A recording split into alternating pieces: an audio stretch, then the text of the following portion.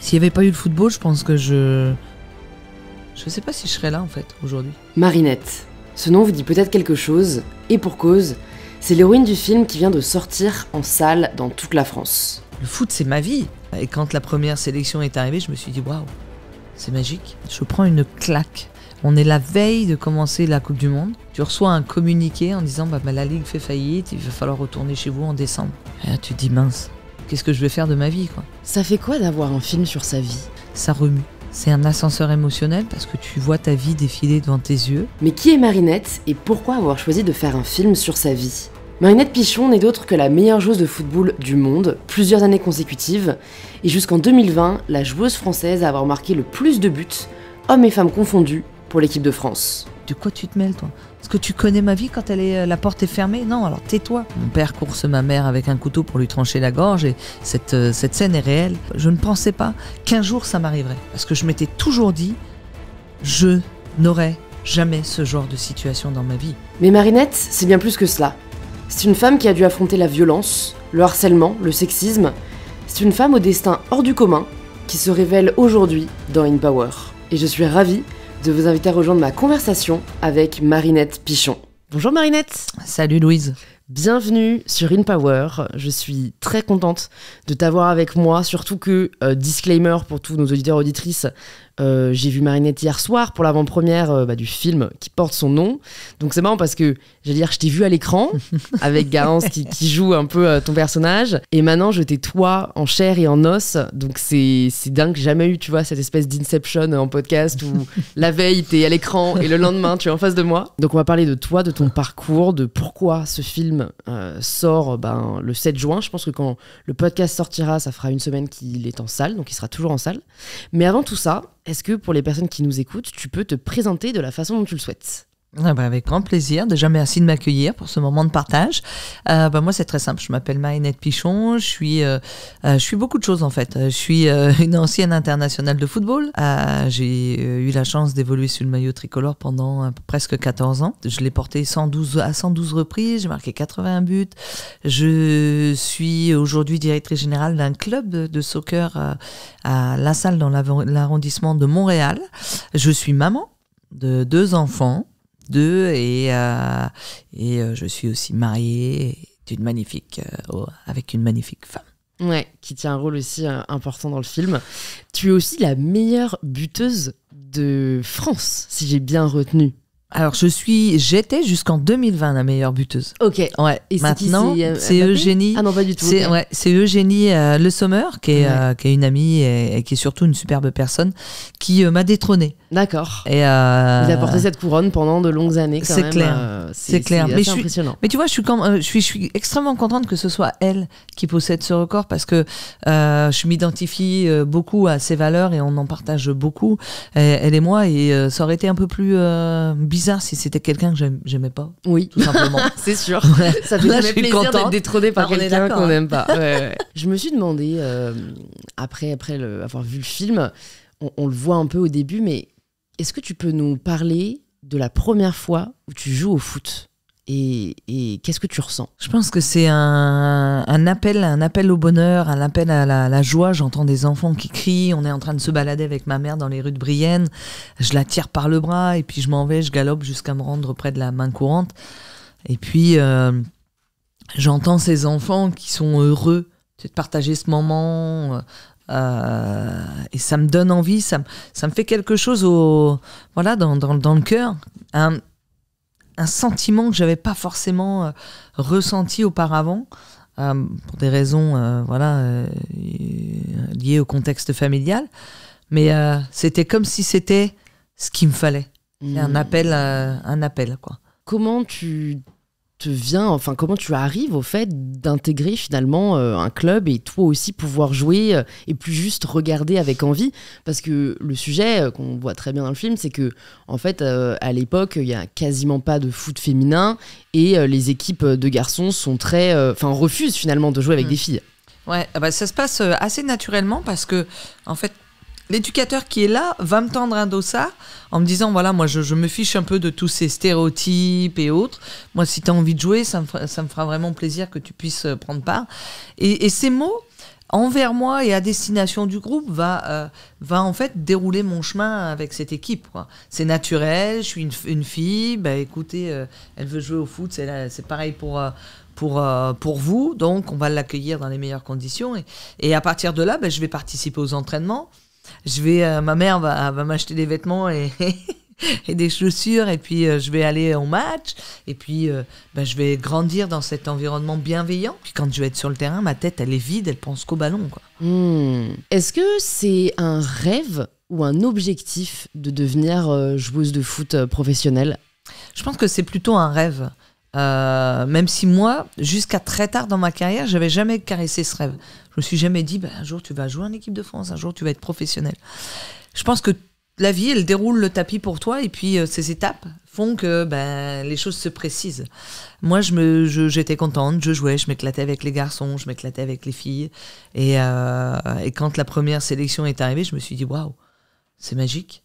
C'est magique, je m'attendais vraiment pas à ça, j'étais très surprise et, et, euh, et je crois que pendant les 112 fois où j'ai été convoquée, j'ai toujours eu cette émotion euh, particulière de l'appel de la sélection. Le sentiment d'être choisi, le sentiment d'être à la hauteur, c'est quoi que tu ressens? Euh, le sentiment d'être reconnu pour ce que j'étais capable de faire sur le terrain, Euh, le sentiment d'appartenance à un milieu de privilégiés, Euh, le sentiment euh, de servir ton pays et de porter euh, ben, ce, ce talent et le talent de notre équipe de France un peu partout sur le, sur le, le- le globe. ouais. Ouais. Et ça, je crois que ça restera, quoi qu'il arrive, une fierté. C'est à quel âge que tu intègres, enfin que tu as ta première sélection? Euh, ma première sélection, je l'ai euh, en chez les A.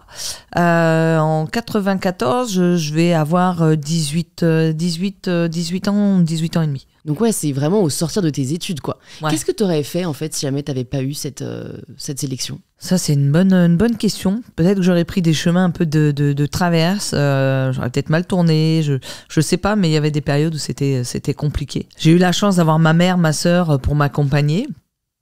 S'il n'y avait pas eu le football, je pense que je. Je sais pas si je serais là, en fait, aujourd'hui. Hmm. tout simplement. C'est, c'est, c'est dur à dire, mais euh, comme quoi un petit ballon peut te sauver la vie, c'est fou. Hein Bah en fait je pense que c'est- aussi euh, le sens quoi que tu as su donner à ta vie euh, avec cette passion, avec ce sport. euh, Peut-être que ça aurait été autre chose, mais en fait, toi, c'est vrai que c'est arrivé tellement vite dans ta vie.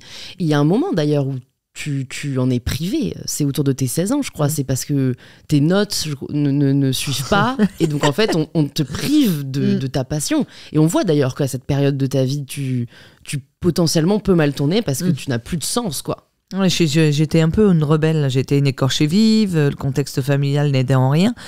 Et euh, j'étais vraiment dans la rébellion, souvent. Je me dis, euh, quelques, quelques décennies après, je me dis, mais qu'est-ce que j'ai pu faire endurer à ma mère ou à mon, entourage? Euh, Aujourd'hui, ça me sert encore d'exemple, ça me sert dans l'éducation de mes enfants. Ouais, je, je, je, je, je pense que je, vis ça comme une injustice, quoi, cette, cette sanction qui me touche au plus profond de moi, parce que le foot, c'est ma vie. Si tu me prives de, de, de, de ce que j'aime, bah tu, tu, touches, tu, me touches, tu me touches en plein cœur. Et, là, j'ai euh, j'ai cette problématique à gérer les émotions qui est difficile. quoi. J'arrive pas et j'ai envie de, de, tout faire valser. Comment tu as appris à contrôler tes émotions? Alors, c'est arrivé tardivement. Euh, quand j'ai rencontré ma, ma compagne il y a 17 ans, euh, où euh, c'est pas, ça n'a pas été simple pour elle hein, d'arriver dans ma vie, de rentrer dans cet univers. Il y avait des hauts, des bas, il y avait plus souvent des bas que des hauts. Et euh, c'était. c'était euh, je me demande encore comment elle fait pour être euh, aujourd'hui à mes côtés, mais bon, j'ai beaucoup changé aussi. Elle m'a apaisé, elle m'a fait comprendre que il y avait des modes de, de communication différents que ceux de, de, de, de cris, voilà, de, de d'irrespect. Et Elle m'a, montré le chemin. Elle m'a accompagnée, elle m'a soutenue, et puis, et puis elle m'aime. Je crois qu'elle m'aime incon- inconditionnellement, donc ça aide beaucoup de te sentir aimé par quelqu'un qui, dont tu sais qu'elle te lâchera jamais en fait. Hmm. Tu sais que c'est ta bouée, que c'est ton, ton Puis, équilibre, ton oxygène, et, et que ben, avec elle tu traverseras le, le monde, quoi. Hmm. Et tu avais un peu ça avec ta mère aussi, euh, j'ai l'impression, en grandissant. En tout cas, le, fait de savoir qu'elle était là pour toi, qu'elle te soutenait à fond. Je me suis demandé, alors c'est peut-être un peu anecdotique, je sais pas si ça a été euh, vraiment euh, ce qui s'est passé ou si ça a été romancé pour le film, mais est-ce que c'est vraiment quand vous vous êtes disputé après donc ton passage là au collège avec, j'imagine, un professeur ou le CPE, que en rentrant, elle a son accident? Euh, c'est pas à ce moment-là, c'est un peu romancé. C'est plus en décembre, euh, donc euh, c'est pas, on n'est pas sur les bonnes, les bonnes périodes, mais il faut aussi romancer les choses dans le cinéma. Oui, et ce non, que mais disait, en fait, Virginie. Je me suis demandé si toi, en gros, tu. J'allais culpabiliser. Ouais, exactement, parce que ça, je trouve que c'est vraiment le pire sentiment, en fait, de, de, Alors, même si tu n'y peux rien, mm. d'avoir un sentiment de culpabilité. Et donc, en fait, je voulais savoir comment tu l'avais vécu et comment surtout tu l'avais dépassé, quoi. Ben je, je, déjà, ce, cette, cette, cette, étape dans notre vie, elle est très difficile. Pourquoi? Parce que notre mère, c'est notre pilier c'est euh, la, référente de la famille, c'est celle qui nous donne tout l'amour à ma soeur et, moi. Et, c'est comme si tu nous, arrachais le cœur, quoi. Et on restait plus qu'avec mon père, avec zéro communication, avec euh, une ambiance, ben voilà, toujours euh, identique parce que ça n'a même pas, tu vois, ça, aurait pu avoir un impact sur lui, le, le faire remettre un petit peu en question, de ok, je me remets en question, je me suis pas toujours très bien comporté, est-ce que je peux changer et tout? Rien. Rien. Zéro, euh, zéro remise en question. Donc nous, on a, on a vécu 19 euh, jours dans l'angoisse de savoir si ma mère ou non allait s'en sortir. Quelles, avaient, euh, étaient les potentielles séquelles.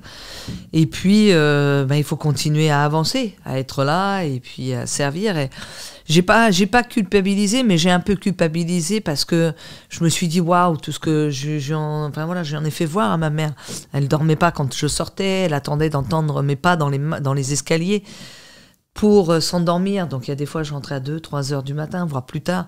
Et alors qu'elle elle commençait sa journée à 7 heures euh, et quand on vieillit on a un regard beaucoup plus critique sur ses comportements et sur ses attitudes et, ce regard, aujourd'hui, je le partage bien volontiers avec euh, mes enfants et puis avec des amis, des connaissances pour leur dire attention. Attention, aujourd'hui, on prend les choses à la légère, on veut être comme ça, mais il faut faire attention à l'impact que ça peut avoir. Je me, je, me demande si, euh, en fait, ce que tu nous partages, on peut l'appliquer sans l'avoir vécu. Tu vois, est-ce que tu penses que tu aurais pu faire différemment finalement que ce que tu as fait?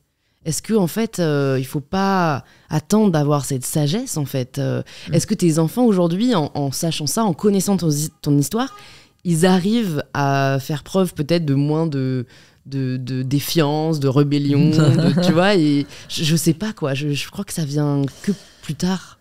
Moi, j'ai l'impression que le partage est extrêmement important et mes enfants aujourd'hui, ils se construisent dans un, dans un climat qui est qui est apaisé, plein d'amour. Du coup, c'est pas la même chose. Et euh, les écarts qu'ils peuvent faire, euh, qu'ils peuvent faire, sont vraiment minimes. C'est euh, c'est même rare. Mon grand a 30 ans, il s'éclate, il a choisi une vie dans laquelle il est heureux. Et mon petit qui, qui a 10 ans, lui grandit tout doucement avec, avec ses parents bienveillants. Et, et je crois que d'avoir ce regard bienveillant et ces mots, souvent, parce que tu peux, tu, vois, tu fais des erreurs dans la vie, bien sûr. T'es pas parfait et personne ne l'est, et heureusement, parce qu'on se ferait chier sinon. Mais euh, nous, on est toujours là à analyser les choses et à lui dire bah voilà, euh, bah, il s'est passé ça. Prochaine fois, essaye de, de, de penser avant d'agir. Hmm. Et euh, Maxime, c'est pareil, notre grand. Enfin, et il n'y a pas de il n'y a pas de rupture entre nous deux avec euh, ma femme. On est euh, sur la même longueur d'onde, à vouloir partager les mêmes choses, et du coup, on a une vraie proximité avec nos deux, deux, enfants. Quoi. Mmh. Et ça, je trouve ça exceptionnel d'avoir une proximité euh, comme ça. Est-ce que tu te souviens, toi, d'avoir été proche de ton père un jour? Moi, j'ai toujours cherché son approbation, son, son amour, des gestes tendres tout, ouais, tout, tout, tout ce qu'on peut attendre d'un père, tout simplement. Hein. Et euh, j'ai rien reçu. Jusqu'à la fin où euh, on va aller en. Ben, il, va, il va être jugé en procès. Et euh, lors du jugement, il, aura une phrase à mon égard qui est ben, J'espère que tu as mis de l'argent de côté. Et je lui dis Ben voyez, voyez, je parle au juré et, et au juge, je lui dis ça sert à rien, quoi. Il comprend rien. Il est dans son univers euh, un peu paumé, un peu perdu, alors qu'il a deux, beaux, de beaux enfants, une, femme qui l'aimait. Il a tout gâché et c'est l'histoire de notre vie, quoi. Et euh, j'ai couru après ça. Et je cours encore. Hmm. maintenant, j'arrête de courir parce qu'il est mort. Mais euh, jusqu'à, jusqu'à, je pense, à son dernier souffle et sur son lit d'hôpital où je suis allé le voir, j'ai attendu cette reconnaissance de sa part. Tu comprends pourquoi il a jamais essayé de changer? Je comprends pas. Euh, on était des, filles qui euh, lui disaient, euh, nous on lui disait par contre, papa on t'aime, machin, on lui achetait des, cadeaux, mais lui il était, il était loin de tout ça et puis il, il en retrouvait aucun, je pense qu'il en retirait aucun bonheur. Et j'ai voulu, ouais, j'ai voulu, j'ai toujours espéré, mais quand je voyais les attitudes qui reprenaient le dessus le soir, c'était tellement éphémère que ça pouvait pas être voilà réel quoi. Hmm. Comment tu as réussi à. Enfin, c'est en tout cas ce que j'ai ressenti en regardant le film, à, accepter euh, la violence euh, et le sentiment d'impuissance face à ce qu'il infligeait à ta mère? Bah, Quand tu es jeune, tu peux pas te positionner comme je l'ai fait quand j'étais un peu plus âgé. Donc tu subis, puis tu comprends pas, tu dis ben, peut-être que c'est le schéma habituel dans les foyers, euh, parce que c'est ce que tu vois à chaque jour. Donc tu dis bon bah c'est comme ça que les gens s'aiment. Puis après ben quelques années après, je me suis rendu compte que c'était euh, c'était pas ça, que c'était un, défaut. Et euh, j'ai longtemps subi parce que ben j'étais trop jeune pour me positionner. Ma sœur s'est longtemps opposée aussi à lui. Et puis dès que j'ai été un peu plus grande en capacité de d'analyser que ce que je voyais à l'extérieur avec des gens qui s'aimaient, qui se respectaient. Euh, je me suis dit que je pouvais pas laisser courir ça. Il y a, il y a vraiment dans le film une, une euh, voilà, un passage où euh, mon père course ma mère avec un couteau pour lui trancher la gorge. Et cette, cette scène est réelle. Je, je, on l'a vraiment vécue telle qu'elle est transposée à l'écran. Et je me dis, mais à cet âge-là, est-ce que c'est normal d'être là, à se positionner entre sa mère et son père pour éviter que ton père tranche la gorge de ta mère? Je crois pas. Et à partir de là, je l'ai pris je l'ai détesté, euh, mais je l'ai haï encore plus que je le haïssais avant. Et euh, c'était devenu ma bête noire. Et est-ce que euh, ta sœur part quand elle a 18 ans? Toi, tu as déjà pensé à, partir? Ben, moi, j'ai eu 18 ans et dès que j'ai eu 18 ans, je suis partie aussi très rapidement pour le foot, pour le, soccer, tout en sachant que je laissais ma mère à la portée de, de, de, ce fou. ça n'a pas été simple, mais ma mère me disait, tu sais, moi j'ai des enfants, euh, et ce que je veux, c'est leur bonheur. Ce que je veux, c'est qu'ils soient heureux et que tu puisses vivre ta vie. Et ces mots m'ont permis de me lancer dans la vie, d'être euh, indépendante à l'âge de 18 ans, d'avoir mon premier appart très tôt, mon premier emploi, et puis, euh, et puis de, de, de, croquer cette vie à pleines dents. Quoi. Mmh. Et elle a toujours été là dans les bons moments, comme ma sœur. Et heureusement, heureusement qu'elle m'a toujours encouragée à, à relever des défis au final. Et toi, quelques années plus tard, euh, tu vis une relation aussi abusive. Qu'est-ce que ça t'a permis de comprendre euh, que peut-être tu ne comprenais pas quand tu étais plus jeune et que tu voyais ta mère souffrir euh, en silence? Ben, Je me dis que quand l'amour est là, c'est pas facile de rompre ses liens. deux, je pense que ma mère a été confrontée même pas la même problématique que moi, c'est quand tu rencontres une personne, tu as l'impression que tout est beau, tout est rose et que c'est euh, c'est magique. C'est les premières euh, les premières semaines, les premiers mois. Et puis il y a une déviance qui euh, se produit à un moment donné, tu sais pas pourquoi, ça, ça te pète en plein visage et, et c'est difficile de dire OK, je vais partir. T'essayes, tu crois, t'essayes de croire, parce que l'être humain, il y a, y a, quand même du bon dans l'être humain, et il faut croire dans ce changement. Moi, j'ai toujours cru. Et en ayant vécu ce qu'on a vécu à la maison, ce que ma mère a vécu, je, ne pensais pas qu'un jour ça m'arriverait. Ouais. Parce que j'ai eu honte de me dire, tu t'es fait avoir, tu t'es laissé, euh, je sais pas, endormir ou tu t'es laissé avoir. Et pour moi, ça a été euh, difficile à accepter parce que je m'étais toujours dit, je n'aurai jamais ce genre de situation dans ma vie. Comme quoi, la vie a parfois d'autres plans. Euh, mais, mais toi, tu ouais, as eu le courage de partir. Ça, c'est extrêmement dur. Peut-être qu'est-ce que tu aimerais dire euh, aux personnes qui sont peut-être malheureusement dans une situation similaire euh, Peut-être que toi, tu aurais aimé entendre à ce moment-là, ou que ta mère aurait aimé entendre aussi pour, pour, pour s'en sortir? Ben, qu'il y a, y a des gens autour de nous, euh, des amis, la famille qui peuvent nous accompagner et que euh, d'être violenté euh, physiquement, psychologiquement, c'est pas une vie. C'est pas du tout euh, ben, ce qu'on ce qu'on doit ce qu'on doit vivre. Au contraire, c'est euh, euh, de, de la valorisation, de la reconnaissance, des regards amoureux, des gestes doux. Et il faut pas avoir peur de, de, plaquer tout, de se faire accompagner par des services aussi sociaux parce que ben, l'État l'État est là pour ça. Euh, et on a encore malheureusement beaucoup trop de femmes et euh, voilà de féminicides aujourd'hui euh, en France qui sont ouais, qui restent impunis. Et je trouve que la société doit prendre doit prendre doit se rendre compte et doit prendre acte de ces changements et aider ces femmes. C'est ça, parce que par exemple, je sais pas en fait dans quelle mesure la justice aurait pu intervenir, mais le moment où ton père pourchasse ta mère avec le couteau, euh, euh, voilà, ce qui est extrêmement euh, dangereux. Est-ce que tu, est-ce que tu penses que tu avais appelé la police ils auraient été en mesure de faire quelque chose? Parce que ce que je trouve terrible, c'est qu'il y a souvent des... bah en fait, tant qu'il n'y a pas de preuves, mmh.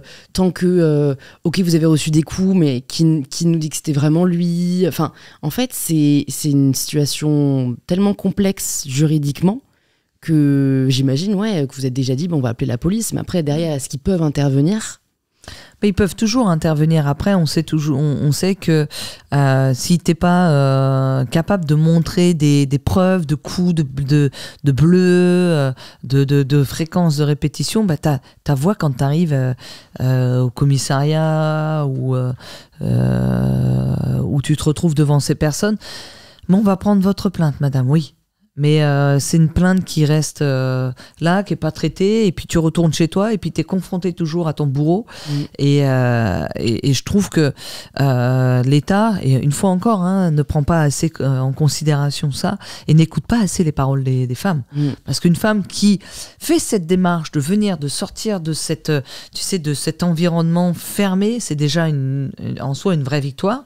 Mais quand elle se retrouve confrontée à quelqu'un qui ne la croit pas, ou qui minimise euh, sa douleur, je trouve que c'est euh, c'est pour le coup extrêmement violent. Ouais, quitter la violence pour en faire face à une autre forme en fait. Hein. Exactement. Ouais. Tu fais face aussi à une autre forme de violence qui est le harcèlement euh, quand tu quand tu intègres l'équipe de France. Là aussi. avec le, en fait, ce qui m'a interpellé, c'est la, la différence de comportement entre bah, ces premières années où tu fais face donc notamment à Titi euh, qui, qui, est un vrai bourreau. Et quand tu reviens quelques années plus tard euh, presque en leader euh, et qu'elle est toujours là et que cette fois-ci j'aurais dire elle ferme sa gueule. Qu'est-ce qui qu'est-ce qui s'est passé Qu'est-ce qui a fait que, tu as réussi finalement à sortir de cette situation et, que tu ne subis plus ce harcèlement? Je pense qu'il y a deux étapes. Il y a la première étape quand j'arrive en équipe de France qui est celle de... Euh, ben, je suis pas préparée en fait à rentrer dans un monde de jalousie, euh, de concurrence, euh, où les, les, les, filles sont prêtes à tout pour avoir leur place sur le terrain. Moi, je viens d'un petit, club bien sympathique de Saint-Mémy, dans la Marne, où euh, les filles se supportent les unes les autres et s'encouragent pour un but commun. On met l'individualité au service du collectif. Et après, je subis ça.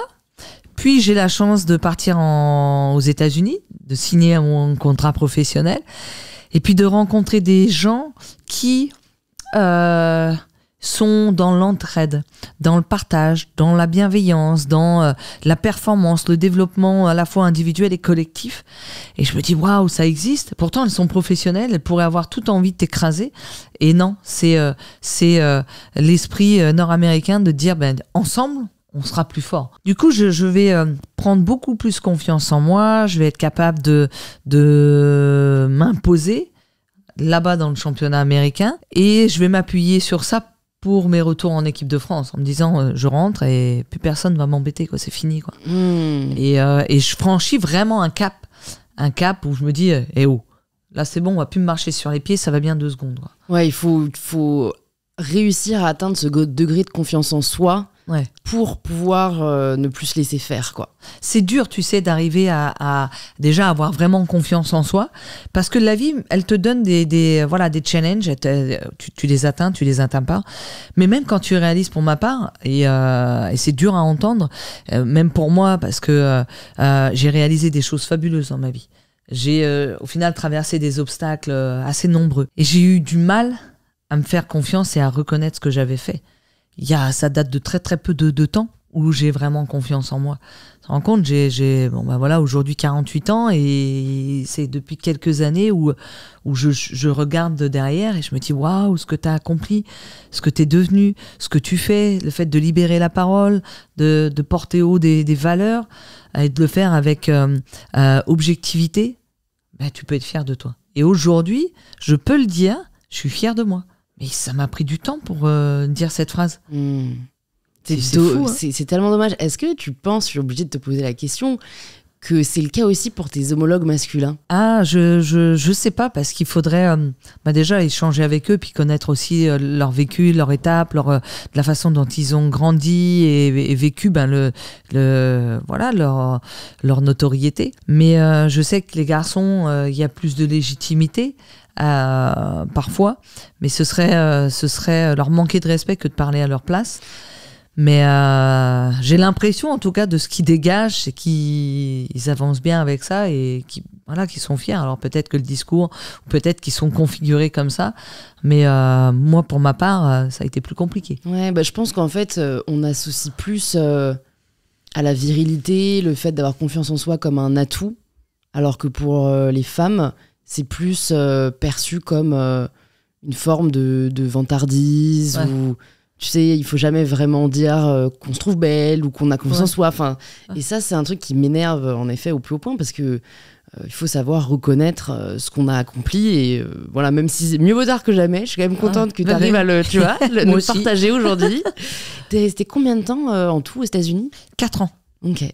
Qu'est-ce que t'en. Quels sont peut-être les trois principaux enseignements euh, avec lesquels tu reviens en France Alors, je dirais euh, le partage, la rigueur, euh, le fait que là-bas, il y a de la place pour tout le monde sous la lumière. Tout le monde peut briller sous les, les feux des projecteurs et je trouve ça vraiment génial. Pourquoi c'est pas le cas en France? Parce que l'intérêt individuel passe avant le collectif, parce que tu es prêt à écraser quelqu'un, parce que tu sais qu'il peut te nuire, euh, parce que c'est un monde parfois euh, euh, d'hypocrites. Et, euh, et je, je voilà, je, je, je- suis honnête en le disant. Et c'est pas forcément un monde dans lequel je m'identifie. Hmm. Et euh, là-bas, j'ai appris vraiment tout ça. J'ai appris euh, ce, ce, ce côté à, à servir le collectif, à être soi aussi. À être soi. C'est tellement bon d'être soi et de pas pouvoir paraître. Euh, S'acheter des fringues pour euh, être bien dans des fringues neuves parce que tu as envie de plaire aux gens. Mais la société, elle te, te formate comme ça. quoi. Unapologétique, c'est un terme Ouais. que j'aime beaucoup euh, et qui d'ailleurs n'a pas d'équivalent en français. Ce qui m'a surpris, c'est que je trouve que la sélectionneuse te laisse très facilement partir aux États-Unis. Euh, je sais pas, moi, à leur place, j'aurais. Enfin, je t'aurais pas laissé partir. Tu vois je... Comment ça se fait que ça se fasse Je pense que elle me laisse partir parce que elle sait que ça va être, euh, un- ça va forcément avoir un impact positif sur moi. D'aller euh, m'en- m'entraîner dans un championnat qui est professionnel avec des contenus euh, bien plus intenses, bien plus euh, techniques, euh, entouré des meilleurs et confronté aux meilleurs, ça peut que me faire grandir sportivement parlant. Donc elle, elle comprend, elle comprend l'intérêt et puis elle a pas envie non plus. Enfin, cette décision, de toute façon, elle m'appartient. Euh, C'est vrai. Après, elle a, elle a été hyper compréhensive de, pouvoir me, rappeler à chaque fois quand il y avait des sélections et autres.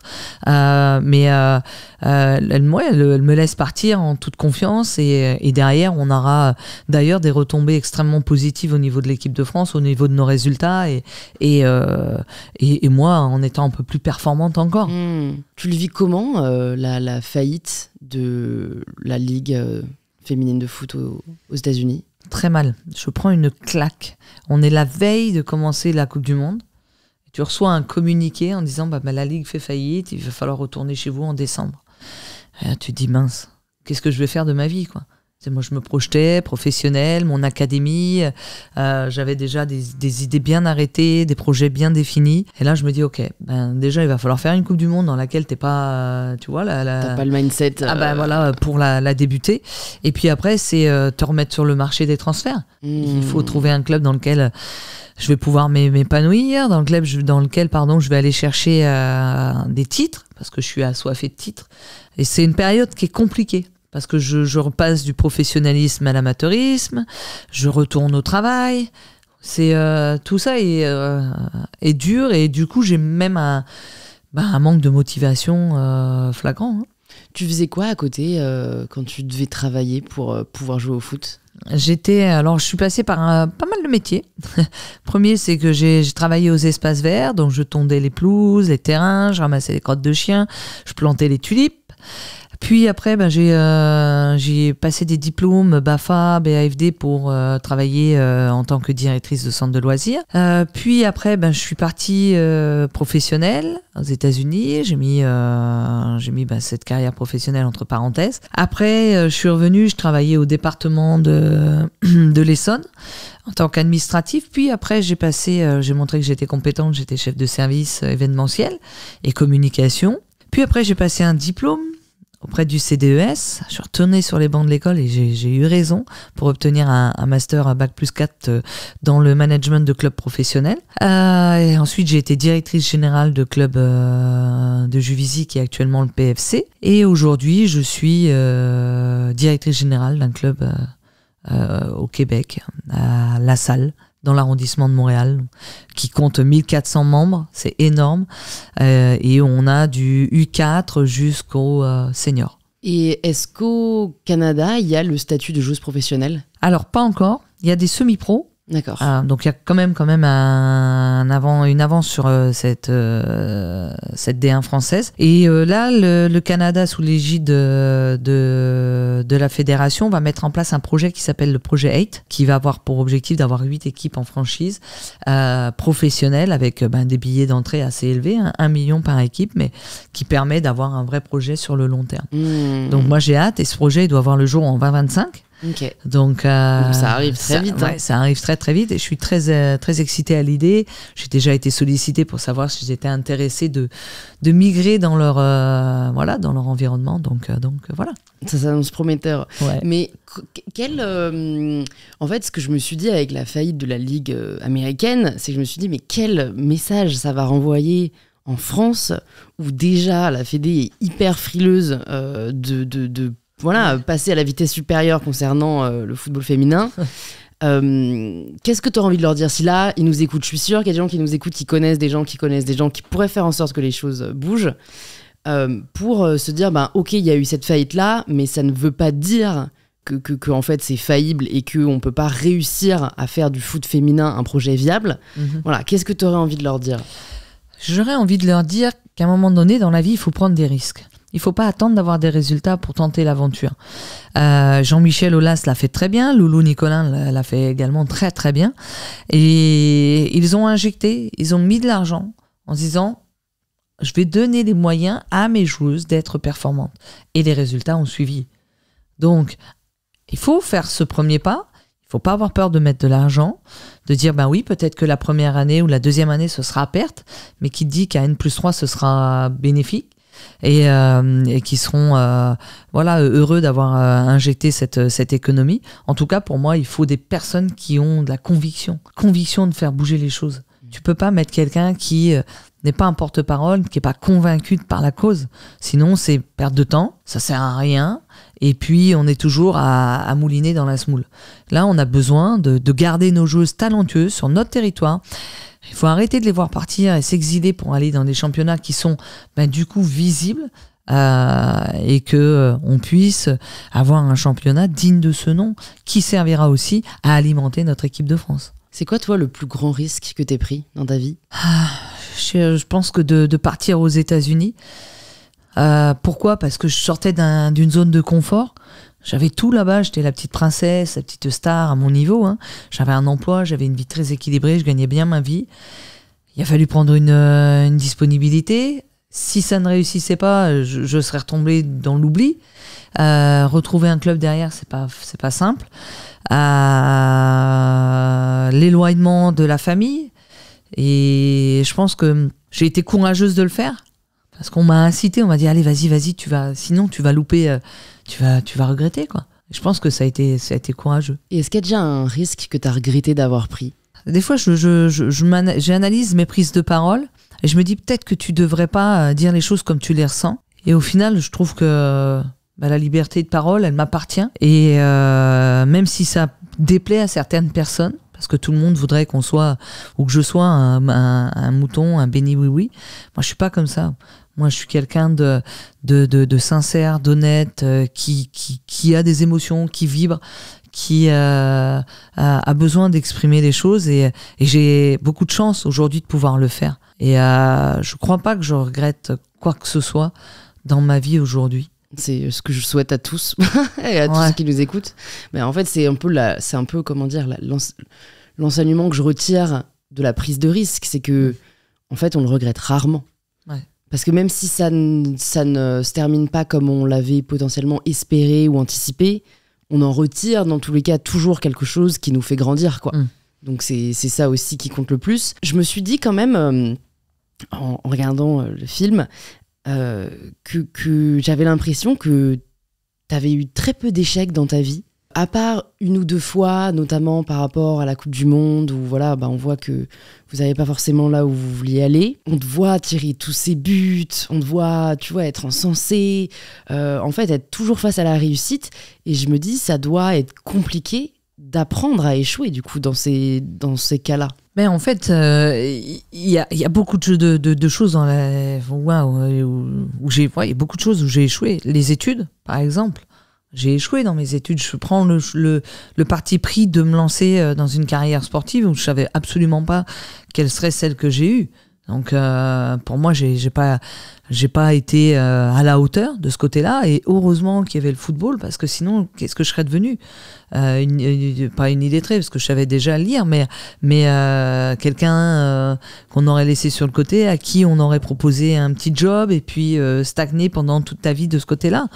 Après, j'ai échoué aussi dans les relations humaines, les relations humaines où par moments je me suis laissé avoir. Et pour moi, ça a été une grande déception de me faire avoir, d'avoir des gens qui venaient, qui gravitaient autour de moi parce que j'étais Marinette Pichon, pas parce que j'étais la personne, parce que voilà. Et, et j'aime que les gens me connaissent avant de connaître, de, de connaître ma vie.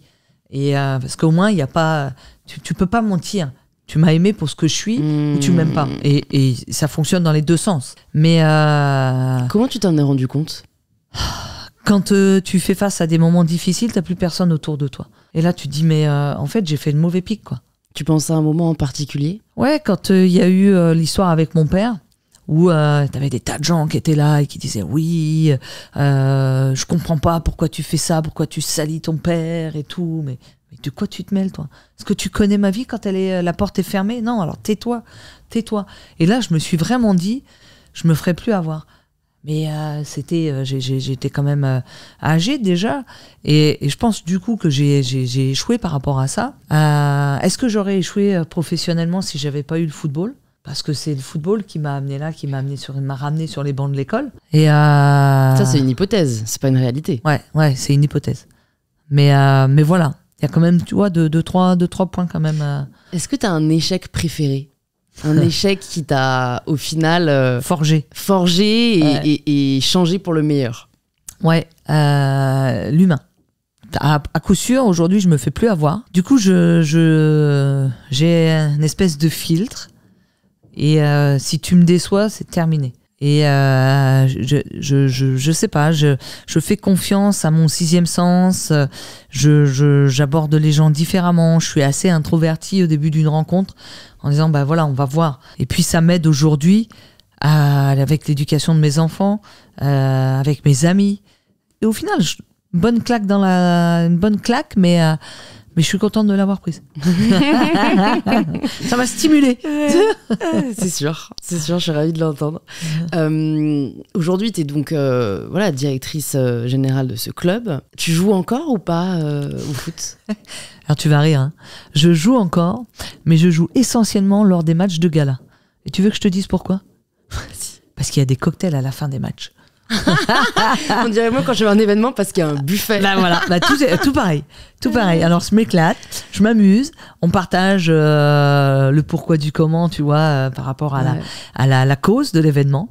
Mais c'est juste pour m'amuser et puis c'est euh, très rare maintenant. Ok. Quelle frustration tu gardes de tes années de footballeuse? Ben, la, la, la sous-médiatisation, euh, l'invisibilisation, parce qu'on en a souffert, on en souffre encore aujourd'hui, euh, le manque de, de moyens, cette euh, comparaison homme-femme. Toujours. Hmm. Oui, mais toi, tu peux. Mais non, mais je peux faire la même chose, sauf que je le fais moins vite, je frappe moins fort, je cours moins vite, mais je fais tout pareil.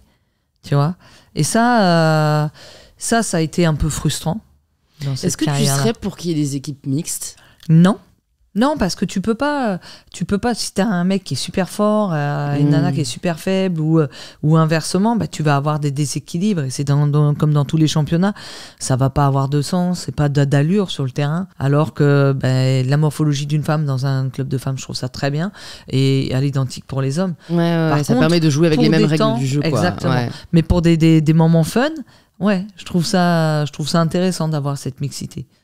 Et la preuve, c'est que toi, euh, c'est avec, celle- c'est avec ça que tu as grandi. euh, et au final, euh, ce que j'ai trouvé assez surprenant, c'est que tu étais vraiment hyper bien intégré, quoi. Qu'il n'y avait pas justement le sujet de ton genre, en Mhm. fait. euh, euh, jusqu'à ce que tu sois. euh, et ça aussi, c'est quand même dingue. Jusqu'à ce qu'à 16 ans, en fait, tu n'aies plus le droit de jouer dans des clubs avec des mecs, Mhm. quoi. Ouais, mais tout ça parce que ta morphologie, justement, elle change. Et ma morphologie, elle changeait. Je commençais à avoir de la poitrine, à grandir. Tu partages plus. Il y a un peu, moins, forcément, de, de, proximité euh, de par ce développement. Mais euh, je pense que la Fédé a, a fait les choses comme il fallait les faire. Parce que euh, ça aurait pu, ouais, ça aurait pu euh, amener, euh, je sais pas, des, euh, des, des directions peut-être un peu bizarres par la suite. Mm. Alors que tu poses un cadre, tu sais qu'à 16 ans, bah, tu peux pas. Moi, je l'ai vécu comme une injustice quand même, mais je trouve que ben, parfois, il faut faire face à la frustration et à ça pour te construire et puis pour rebondir. Euh, parce que ben, logiquement, tu peux plus être à la hauteur et parce que euh, dès que tu arrives à, à 17 ans, ben, quand tu prends un tampon par un gars à 17 ans, ben, tu, tu as mal. Quoi. Mhm. Donc c'est normal aussi, c'est une forme de protection de la part de la de la de la Fédé. Euh, après j'ai eu la chance d'aller à Saint-Mémy, sinon j'aurais ragé encore. Ouais, et ça, tu le comprends que plus tard. Bah oui, on comprend beaucoup de choses plus tard. Tu comprends beaucoup de choses, j'ai l'impression aussi, quand tu rencontres ta femme. Tu la rencontres comment? Parce que ça, on le voit pas dans le film. Ouais, je la rencontre euh, lors d'un événement. J'étais rentrée des États-Unis en deux- euh, décembre 2004 et euh, le- le- le- l'employeur pour qui je travaillais, qui était le département de l'Essonne, organisait comme chaque année la cérémonie des podiums de l'Essonne. Et ma femme Ingrid a été récompensée en étant sportive de l'année. Et je la vois monter sur la scène et je la regarde et je reste scotché, bouche bée. Je, me, je sais pas, il y a eu un truc qui s'est passé. Je me dis, waouh, elle dégage quelque chose, quoi. Euh, enfin voilà, c'est une femme, quoi. Je la regarde pendant tout le temps du cocktail. On est à l'opposé. Elle est en train de se faire féliciter, euh, poser de la salle, moi à l'autre bout, puis je suis toute timide, etc. Et puis à un moment donné, je me, allez, je me prends en main, je me, je me décide à traverser la, la pièce pour aller euh, la saluer, la féliciter et tout. Elle savait pas du tout qui j'étais. Euh, du coup, elle m'a dit ah bah merci, c'est sympa, on boit un verre, on discute, euh, voilà. Et puis euh, je repars dans mon coin. Puis t'as les personnes du, du département qui viennent la voir. Elle me dit non mais t'as vu, euh, t'as vu qui, qui, c'est là qui est venu te saluer, te féliciter? Ben non, enfin c'est, j'imagine, elle dit j'imagine que c'est quelqu'un qui travaille au département, ce qui était pas faux. Ouais. Et les gens lui disent mais non mais c'est Marinette Pichon. Marinette Pichon, là, c'est Ah, mais dit, bah, je connais pas. Voilà. Et puis, Elle a passé on le filtre. Voilà, c'est ça, elle a passé le filtre. Et ça, j'ai aimé. Et euh, on s'est parlé euh, plusieurs reprises au téléphone, euh, quelques fois après. Et puis, et puis, elle a compris que j'avais un intérêt différent que d'être son amie. Donc, elle a été un peu déçue, je pense, de ce côté-là. Parce que, voilà, je pense qu'elle attendait autre chose. Et puis, bah, on a pris un peu des distances. Et puis, on s'est revus un an après. D'accord. Comme si c'était la veille. Ah et puis on a discuté, sympathisé, elle est partie, elle m'a envoyé un message en me disant Je suis partie chercher mon fils. Ah, bon, déjà, il y a un enfant dans l'histoire. et puis, euh, on, on s'est revus, on est allé dîner, on, on a appris à se découvrir. Et, Et vous n'êtes pas quitté euh, depuis. et on s'est pas quitté depuis le premier baiser, le 28 décembre 2005. Ah ouais, c'est fou, ça date. Ça- Ouais. ça- en fait, je me dis, je commence à arriver à l'époque où je me dis, d'un côté, c'était il y a pas longtemps, Ouais, genre je l'ai vécu, Ouais. mais d'un autre côté, bah, quand tu fais le calcul, c'était il y a 18 ans. Quoi. ouais, ouais, ouais, c'est ça. Qu'est-ce que qu'est-ce qu'elle a changé dans ta vie? Elle m'a changé, euh, je dirais, euh, presque en tout. Elle m'a, elle m'a révélé. Elle a cette capacité à me, à me faire prendre euh, conscience de ce que j'ai fait, de ce que je fais, de la personne que je suis, d'être chanceuse de partager sa vie avec moi. Et, et elle me fait, elle m'apaise beaucoup. Elle a guéri beaucoup de blessures. Euh, elle est là quand il y a des coups de grisou. Et puis surtout, elle, euh, elle m'aime, elle m'écoute. Elle me parle, elle me rassure. C'est euh, c'est tout en fait. C'est euh, c'est un tout. C'est à la fois euh, ma meilleure amie, à la fois ma femme, à la fois euh, euh, voilà la la la la, la, belle-sœur ou euh, enfin tous ces personnages qu'elle incarne quoi. C'est c'est fou. Vous travaillez ensemble aujourd'hui ou pas? Ouais. Ouais, elle est euh, la directrice administrative du club dans lequel je, je travaille depuis peu, mais on a déjà eu l'habitude de travailler ensemble et euh, voilà, on est un couple à la vie euh, comme à la ville. Et comment ça a changé votre relation de travailler ensemble Si ça l'a changé, est-ce que vous, vous avez mis en place, tu vois, je sais pas, des règles qui font que, bon, bah, mine de rien, vous voyez vraiment là jour et demi, quoi? Ouais. Ben, on a quand même cette, cette faculté à couper. Quand on est à la maison, on est assez focalisé sur notre fils, euh, partage des moments de qualité. Euh, on va euh, se poser devant un film tous les trois, on va aller promener avec notre petit chien, on va euh, recevoir des amis et on va pas trop parler de boulot, sauf quand on est dans des périodes assez, assez mouvementées. Mais on avait déjà travaillé dix ans au département de l'Essonne ensemble et on s'en était très très bien sortis. C'était même rigolo parce que tu avais les chefs de service qui disaient oui, il y a ta femme qui arrête pas de m'embêter et c'était devenu une normalité, tu vois. Et aujourd'hui, à la salle, c'est pareil. Enfin voilà, on a le boulot, c'est le boulot. Mm. Euh, quand il y a quelque chose qui va pas, euh, je sais lui dire et quand euh, elle trouve qu'il y a quelque chose qui va pas, elle sait me le dire. Il y a voilà, il y a ce, cette hiérarchie qui est instaurée. Ça, ça pourrait être compliqué, mais non, il y a la DG, il y a la DA, il y a les DGA et puis et puis euh, et puis voilà, et on avance bien comme ça et et puis on sert surtout l'intérêt du développement du club. Mm. La communication, en fait, c'est vraiment la clé. Ouais. Ça fait quoi d'avoir un film sur sa vie? C'est à la fois bluffant, à la fois une reconnaissance, une, consécration, et à la fois plus euh, du côté personnel, c'est euh, ça remue. C'est un ascenseur émotionnel parce que tu vois ta vie défiler devant tes yeux euh, dans, un, dans un format d'une heure 36. Et, et Virginie, la réalisatrice, a, été exceptionnelle sur le montage, sur son, son, casting aussi.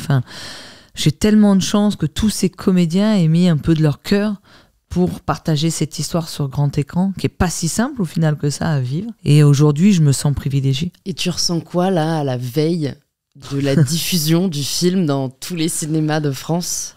Ah, je suis, euh, je suis excitée et puis j'espère surtout pour eux, pour Virginie, pour euh, pour Garance, pour Émilie, pour Alban, pour Fred, pour euh, Sylvie, pour Caro, pour tous les figurants, euh, pour tout, euh, toutes les personnes qui ont travaillé sur ce film. J'espère que ça va réussir. Après, moi, je- je- j'ai pris le parti de dire ok, on y va, on partage ma vie. Maintenant, euh, ben, c'est, je pense que ce film trouvera son public parce qu'il traite de tellement de sujets autres que le foot Mm. et à ne pas se méprendre parce qu'on pourrait croire que c'est un, un film sur ma, ma carrière c'est pas du tout le cas et c'était ce que je souhaitais et c'est ce qu'a respecté Virginie Ouais, non, c'est vrai, euh, je parle en. Moi, je suis pas euh, particulièrement amatrice de foot. En fait, ça tombe bien du coup Ouais, non, mais en fait, ce qui est cool, c'est qu'en fait, ça m'a donné presque une appétence Ouais. pour la discipline. Euh, mais parce que. euh, on voit tellement de choses autour, on voit la passion, on voit, on voit le collectif, euh, on voit euh, les obstacles. Enfin, ça traite en effet de sujets euh, sociaux extrêmement puissants. Donc, donc je trouve que le pari, en effet, est vraiment relevé. Écoute, on va arriver aux petites questions de la fin. Déjà, j'ai de te demander comment est-ce qu'aujourd'hui tu progresses? Ah, à chaque jour, je me lève et je me dis, t'es une bonne personne. Je me regarde dans la glace et je me le dis pas tous les jours, mais je le pense intérieurement. Euh, parce que tout ce que j'ai fait et tout ce que je continue à faire euh, tout en étant, euh, tout en ayant été une écorchée vive, me permet d'apprécier la vie. Donc la progression, c'est je sais savourer chaque instant. Une rencontre, un verre de vin, une pizza, un moment avec un brin de soleil qui perce à travers le feuillage, je, sais apprécier ce genre de choses. Je progresse parce que je, sers de- d'exemple. et du coup, ben, ça m'enrichit aussi. Et ça, j'en suis fière. Et puis, euh, ben, quand j'ai des difficultés, je regarde un petit peu en arrière sur ma vie. Et puis, je me dis, regarde, regarde tout ce que tu as traversé. Ça aussi, tu vas le traverser. Et puis, tu vas avancer. voilà comment je progresse aujourd'hui. Belle philosophie. Ouais. Si jamais tu avais une ressource, ça peut être un livre, un film, une vidéo euh, qui t'a particulièrement touché et que tu aimerais recommander aux personnes qui nous écoutent, qu'est-ce que tu aimerais nous partager? Moi, c'est plutôt euh, la musique. J'aime beaucoup la musique. J'écoute la musique euh, tous les jours, dans la salle de bain, dans le bureau, au bureau. Euh, je chante faux, hein. mais alors je l'assume pleinement. Et ce serait Claudio Capeo qui chantait, enfin qui a chanté Si j'avais su, parce que c'est des phases. de la vie où tu as l'impression que tu veux profiter mais que tu profites pas et tu regrettes de ne pas avoir profité. Et ça, c'est euh, un rappel, un rappel important de se dire la vie elle est courte et tu sais jamais ce qu'elle va te réserver. Alors je dirais euh, la musique parce que euh, parce qu'elle permet de te, voilà de transporter, Hmm. de te de te faire voyager, comme c'est le cas avec le 7e art. hein, mais mais moi c'est la, la musique. Qui te touche particulièrement. Ouais. Si jamais tu pouvais entendre quelqu'un au micro d'InPower, qui est-ce que tu aimerais entendre? Ah, j'aimerais euh, beaucoup entendre euh, Amélie Mauresmo. Ok. Tu la connais ou? On s'est croisés, on se connaît pas euh, de façon euh, intime, mais euh, c'est une femme qui dégage beaucoup de, de, de, pour moi, un charisme, beaucoup de charisme, et puis qui porte des combats aussi. Et, et pour tout ce qu'elle a fait dans, dans sa carrière, dans sa vie, et ce qu'elle fait encore aujourd'hui, ouais, c'est une athlète que je- je- je- j'admire et une femme que j'admire. Ok. Je vais te poser du coup la dernière question du podcast, la question signature. Ça signifie quoi pour toi prendre le pouvoir de sa vie? Pour moi, prendre le pouvoir de sa vie, c'est avant tout être soi, faire ses choix et assumer ses choix. Parce que parfois, on ne fait pas les bons choix, mais il faut quand même les assumer. Et c'est ça aussi, cette capacité à prendre le pouvoir de sa vie. Super, bah écoute, merci beaucoup Marinette pour euh, ce superbe échange euh, qui vient euh, magnifiquement complémenter la vision, enfin le visionnage du film pour ma part hier. Pour les personnes qui veulent en savoir plus sur toi, sur ce que tu fais, où est-ce que tu veux qu'on les redirige? Alors, bah, Instagram, Ouais, très simple. Arrobase, euh, Marinette Pichon. Voilà. Marinette.pichon. Et puis après, bah, ceux qui veulent connaître un peu plus, il y a aussi mon livre qui a été euh, euh, réédité aux éditions First. Et puis euh, surtout, bah, allez dans les salles, allez dans les salles. dans toutes les Voilà. salles et je mettrai le lien euh, dans la barre de description si jamais vous voulez savoir où il est euh, diffusé près de chez vous. Merci beaucoup Marinette. C'était un plaisir, Louise. Merci beaucoup.